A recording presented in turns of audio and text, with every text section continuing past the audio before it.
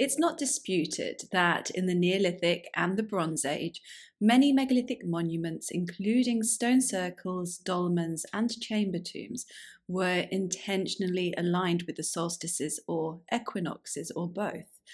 From Stonehenge in southern England to Mnajdra in Malta, it seems that ancient people were quite preoccupied with the perceived movements of the sun.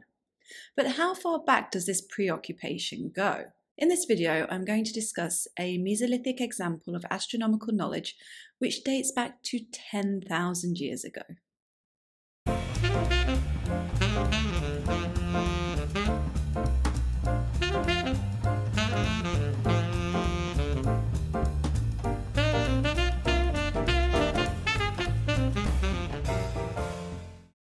The European Mesolithic began around 11,000 years ago. This coincided with the start of the geological epoch known as the Holocene. At that time, temperatures increased, sea level rose, and vegetation in the landscape changed. This meant that different food sources started to be preferred by hunter gatherers, and a change in technology also took place to exploit these resources, with microliths becoming a feature of Mesolithic groups.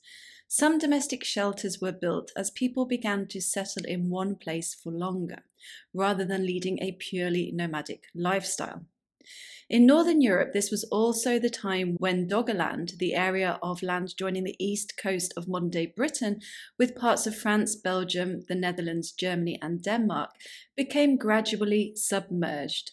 One of the most important Mesolithic sites is Star Carr in North Yorkshire, England, where the oldest structure ever to be found in Britain was excavated along with deer skulls that were likely ritual headdresses.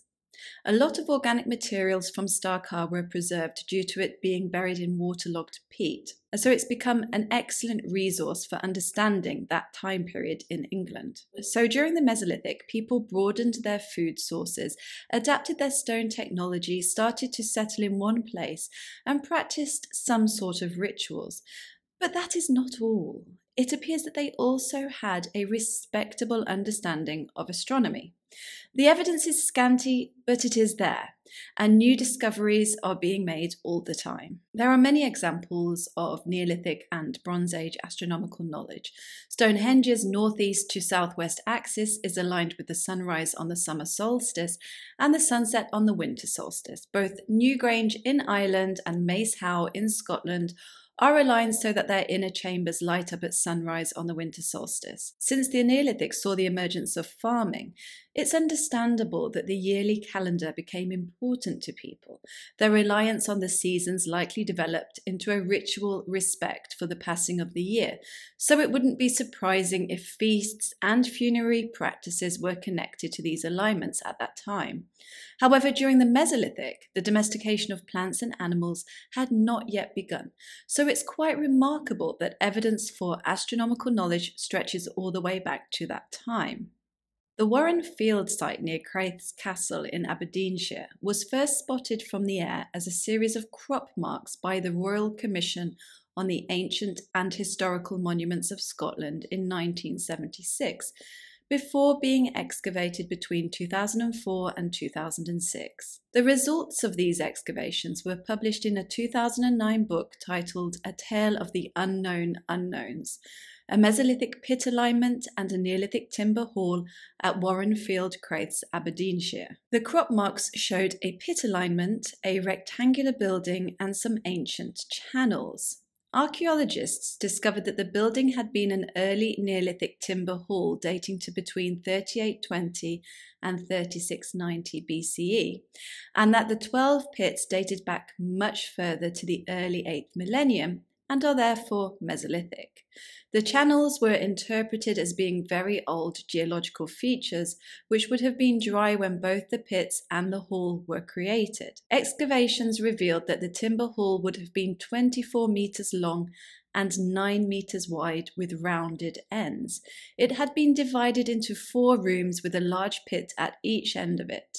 There's evidence for these pits having held timber posts, but it's not clear if these were structural or if they were standalone totemic poles. There are 12 definite pits stretching in a curving line over 50 metres with a northeast to southwest orientation. They are ovoid in shape and vary in size and depth.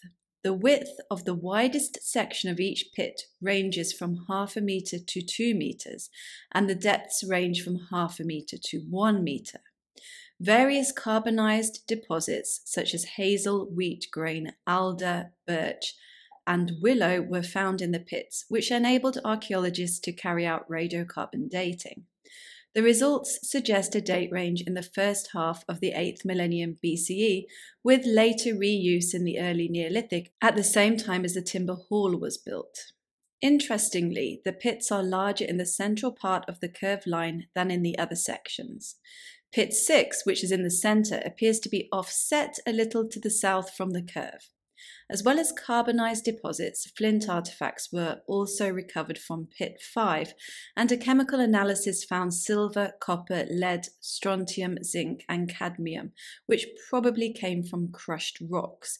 The nearest place where rocks containing these elements can be found is the Pass of Ballater, around 40 kilometers away. So these were probably ritual deposits that had been transported there intentionally. It's also possible that several of the pits held wooden stakes. The evidence for the recutting and reuse of the pits during the Neolithic does not mean that whatever their function was in the Mesolithic continued for thousands of years. They may have been used in an entirely different way. However, the decision to site a Neolithic timber hall near them could mean that they had originally held ritual significance, and that this was still the case in some form or another several thousand years later. In the book, the archaeologists discuss several other Mesolithic pit alignments that may also have had ceremonial functions that continued into later periods. At Stonehenge, Stonehenge, four and maybe five large Mesolithic post holes were found in the old car park to the northwest of the main site.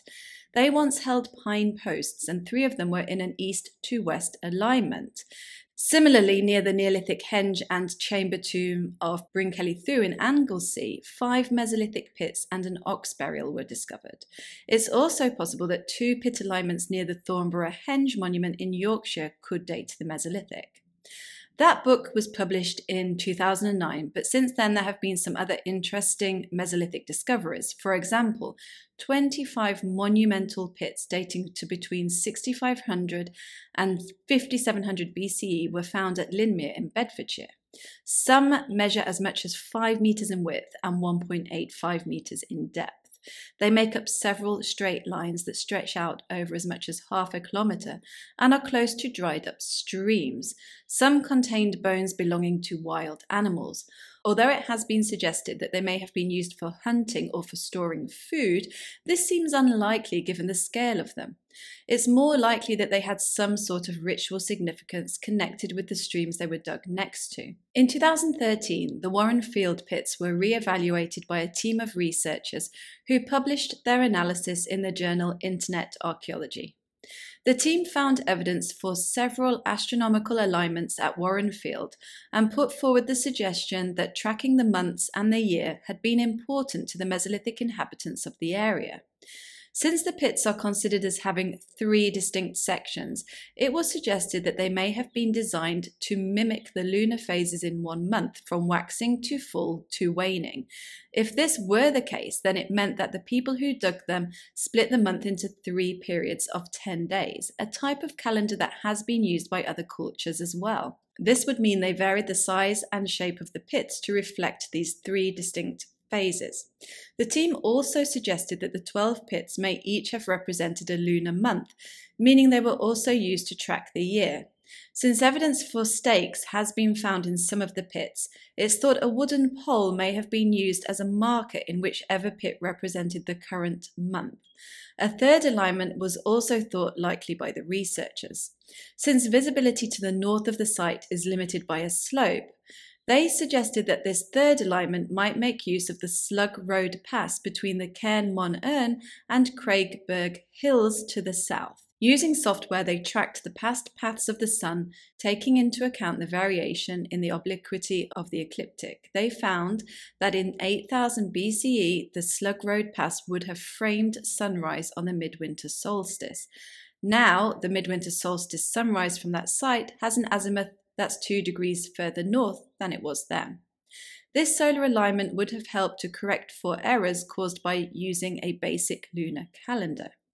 Pit 6's offset location might also be explained as a marker that was used annually to recalibrate the sequence. The paper also discussed the myriad of problems associated with the Warren Field site as an astronomical observatory of sorts, such as the fact that it was probably surrounded by woodland in the Mesolithic, reducing visibility, and that when moonrise occurred during the day or during bad weather, it wouldn't have been observable. Even with the incredibly detailed study carried out by these researchers, whether the pits were created for astronomical purposes or not is still a highly debatable topic. But if Warren Field was a lunisolar calendar, then it's possible that this knowledge was passed down to future generations and was used again in the recumbent stone circles of northeast Scotland that may have lunar alignments as well. And let's not forget, ongoing research at Stonehenge is trying to determine whether, as well as its solstitial alignment, it was also designed to observe the major lunar standstill. Various artifacts and cave paintings found in Europe and dating to the earlier Upper Paleolithic feature markings that it's been suggested may also have depicted the phases of the moon. Close to Warren Field, Mesolithic structures have been found at nether mills, which may have been domestic shelters and could therefore have been used by the people that created the pit alignments. That's it. Let me know what you think in the comments. Thank you for watching, and I'll see you next time.